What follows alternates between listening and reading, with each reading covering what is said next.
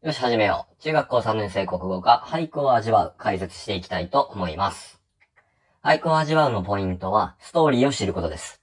俳句自体のストーリーもそうですし、その俳句が出来上がるまでのストーリー、そしてその作者のストーリー、そのあたりを知ることによって、俳句の理解が進むと思います。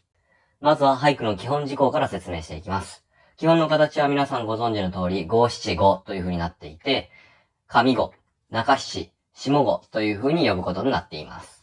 俳句の原則としては、季語を読み込むという風になっていて、季語というのは季節を連想させる言葉です。例えば桜と言われたら誰もが春を思い浮かべるというような形です。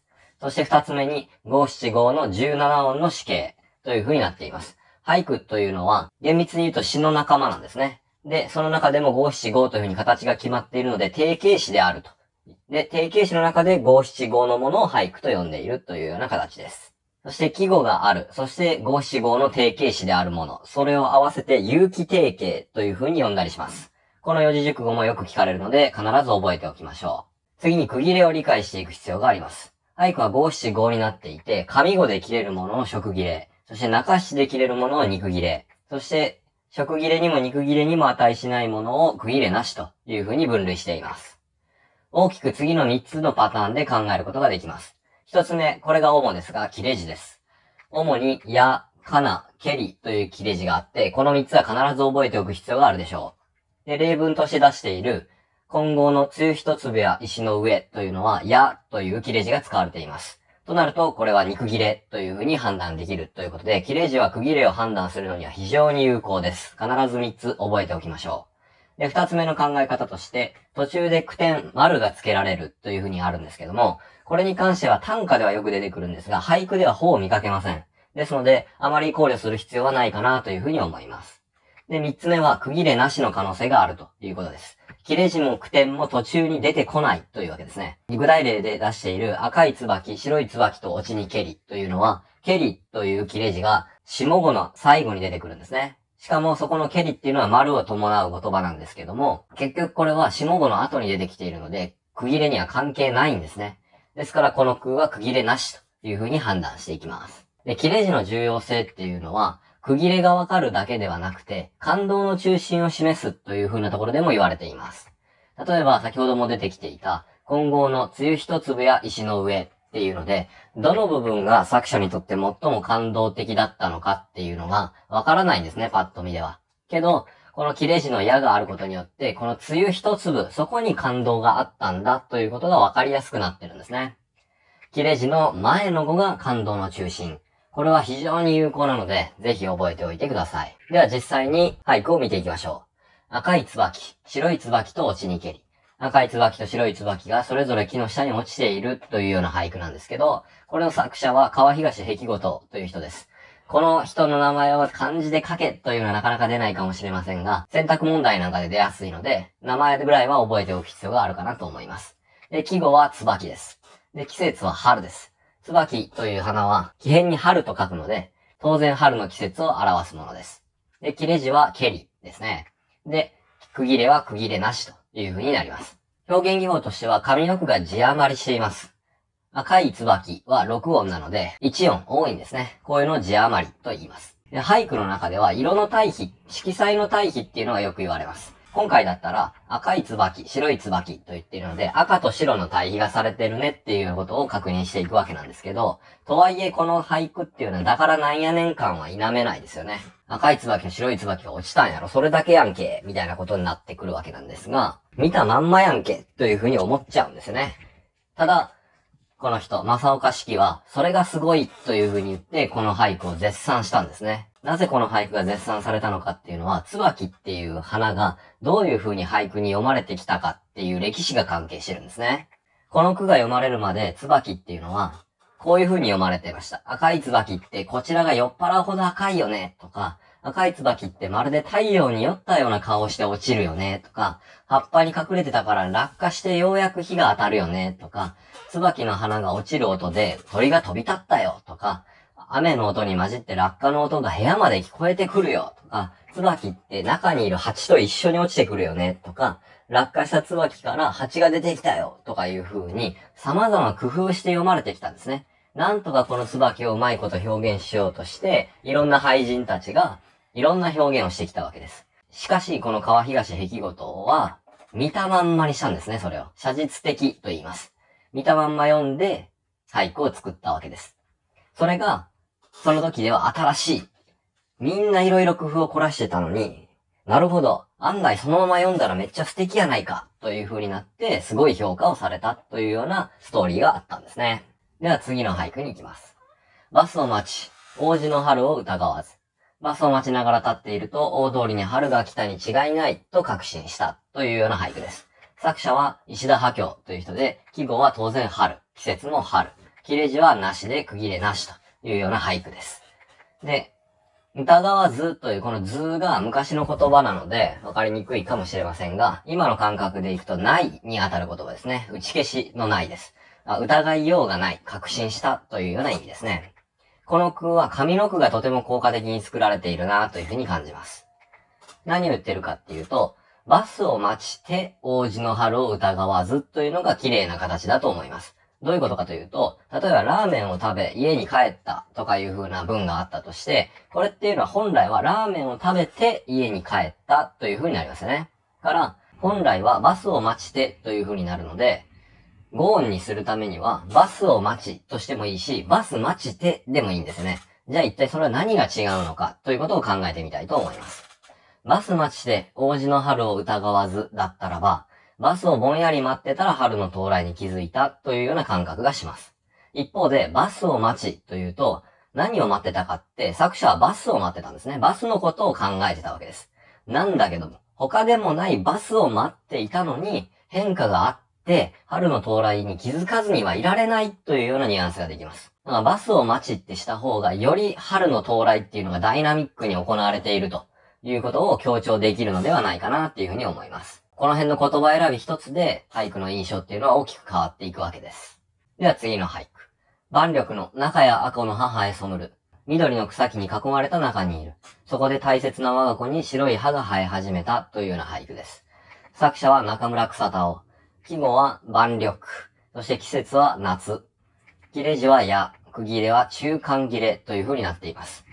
この中間切れっていうのが新しいんですが、多くの場合、上語の後、そして、中七の後に区切れが来るんですね。食切れ、肉切れという形で。しかし今回のように、中七の途中に区切れが来るっていうのもあって、それがとっても珍しいからよく試験で出るんですね。ですからこの中間切れっていうのもしっかり覚えておきましょう。もう一つ特徴的なのは万力という記号です。万力という記号は中村草田尾が創始者です。つまりこの万力っていうのを記号にしたのは中村草田尾さんが初めてだったというわけですね。で、これは、王安石という人が記した中国の人ですね。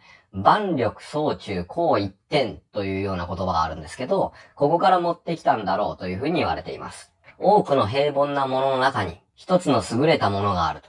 平凡なものはこの場合緑なんでしょうね。その中に高一点、赤いものが一つあるっていうようなことを表すのを万力総中高一点というふうに言ったわけです。で、この万力を持ってきてるんですね。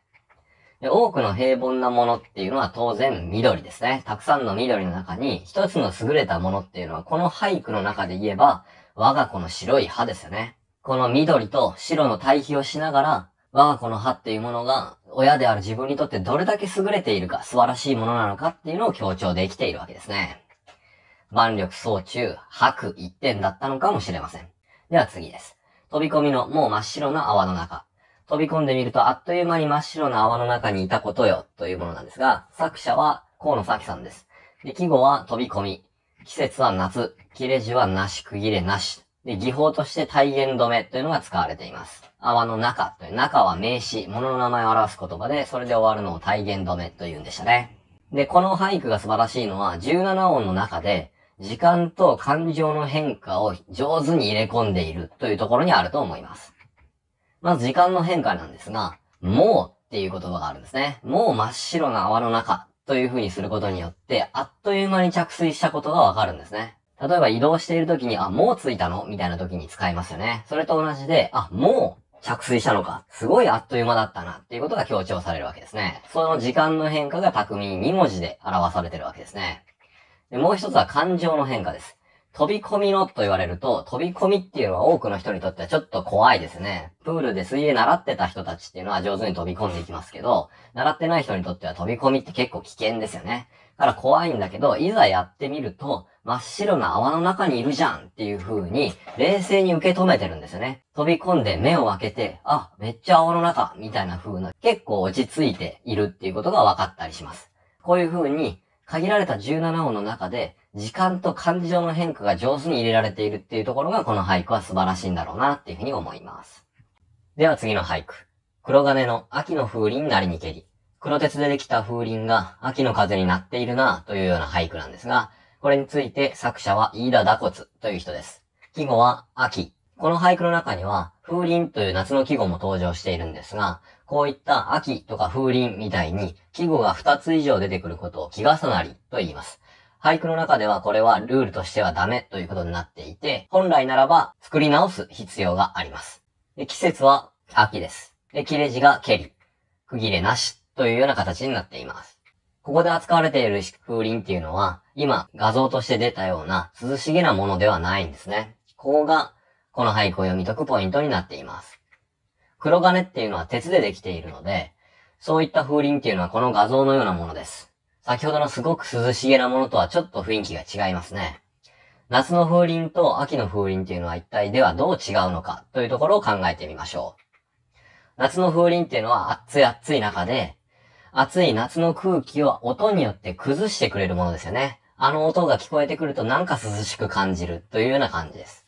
で、秋の風鈴っていうのは一方で、秋の静かな空気を音がさらに深めてくれるような感じがするんですよね。染み渡っていくような。そういった違いが夏の風鈴と秋の風鈴にはあると思います。もう一つこの俳句がすごいと言われているのが黒金のというところなんですね。この部分がすごい。で、一つ目の理由としては、秋の色の表現としてはすごく斬新だったんですね。椿の俳句のところでもやりましたけども、今まで読まれてきた秋の色とは全然違うんですね。秋の色といえば、金色といって紅葉の色のことを言っています。あるいは、暦の上では秋はイメージカラーが白になってるんですね。ですから、芭蕉も正岡式も白を読み込んだ俳句を残しています。その中で、飯田打骨は今まで表現されてこなかった色で俳句を作ったわけですね。これがすごいと言われている一つのポイント。そして二つ目は、この黒金のっていうのが、黒金の秋という風にも読めるし、黒金の風鈴という風にも取れるし、黒金の音っていうものが鳴ってるっていう風にも解釈できるというところです。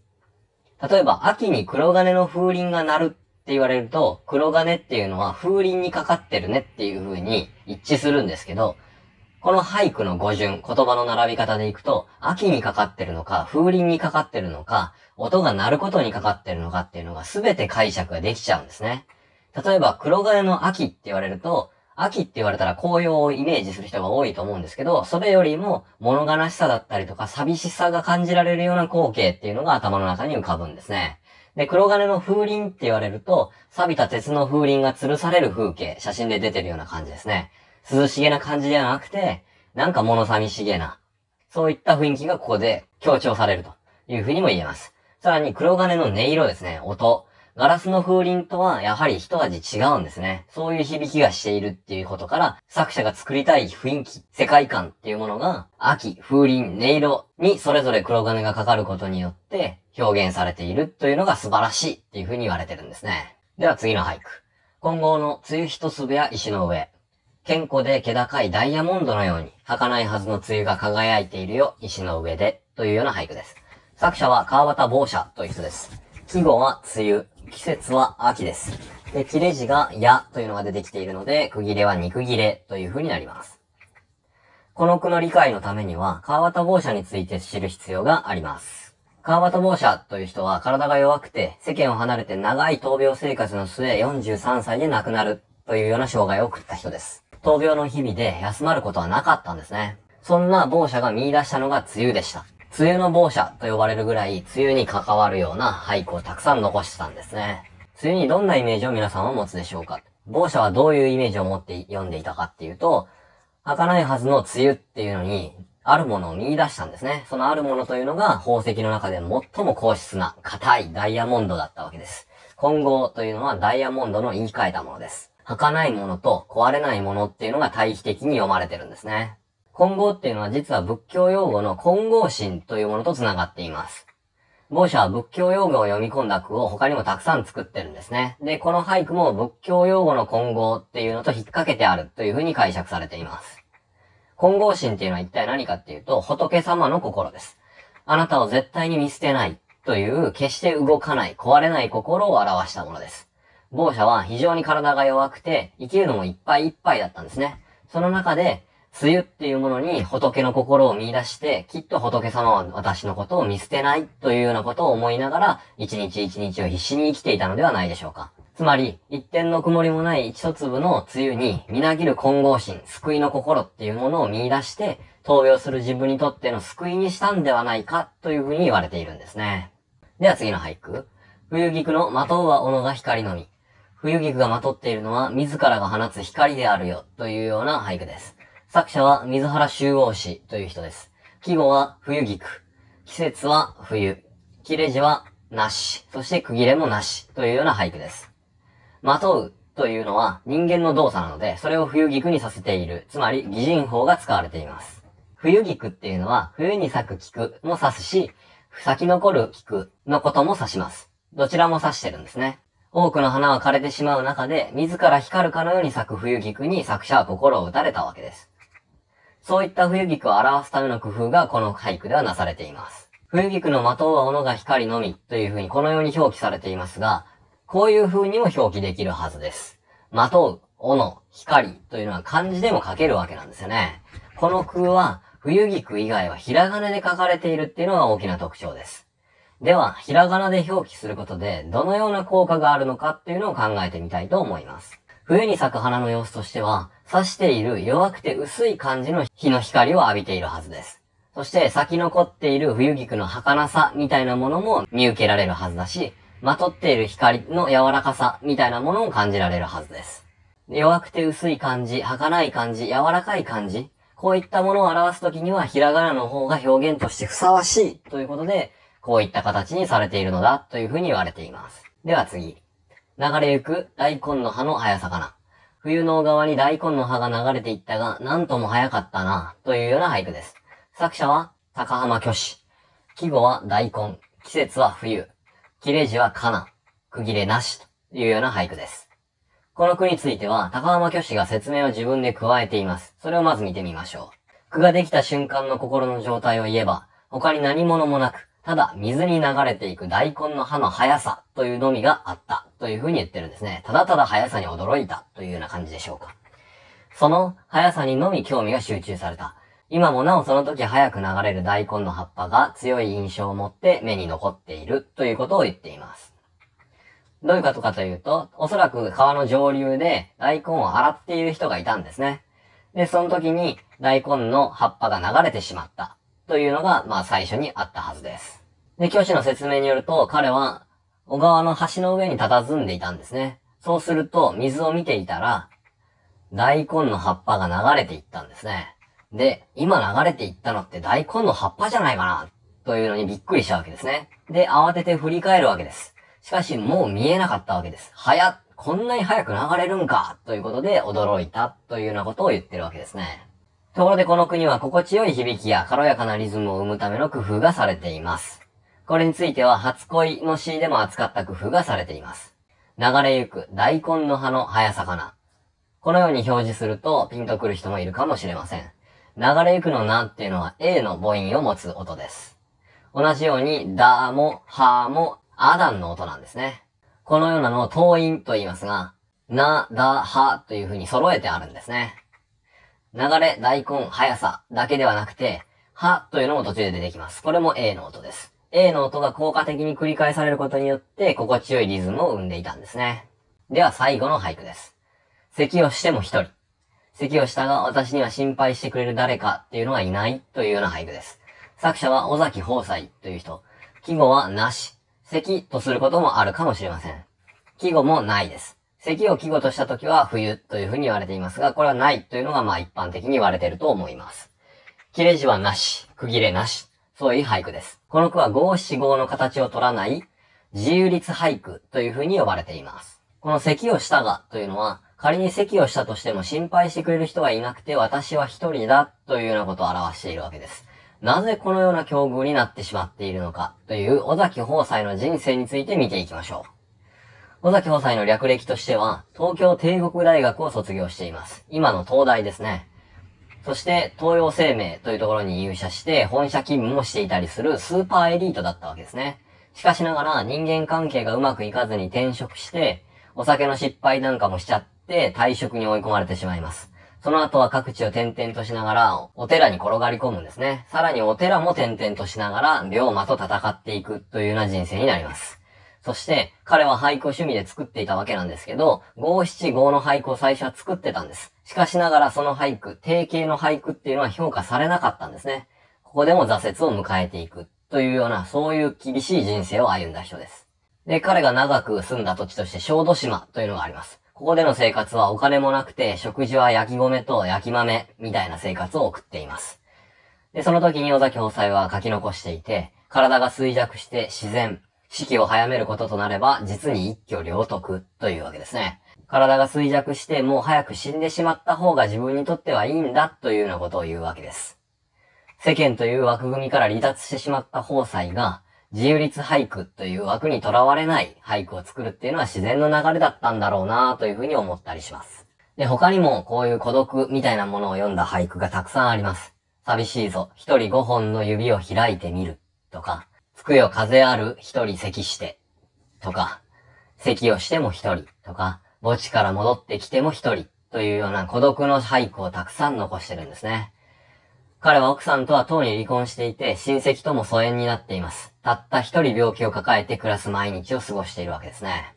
そして僕が印象的だなと思っている俳句がこれで、肉が痩せてくる、太い骨である、というのを認識するわけですね。だんだん自分の体が痩せ細っていっていて、骨が浮き彫りになっているというようなところも俳句として残していたりします。ご視聴ありがとうございました。励みになりますので、チャンネル登録、高評価、コメントなどリアクションいただけると嬉しいです。よろしくお願いします。ではまた。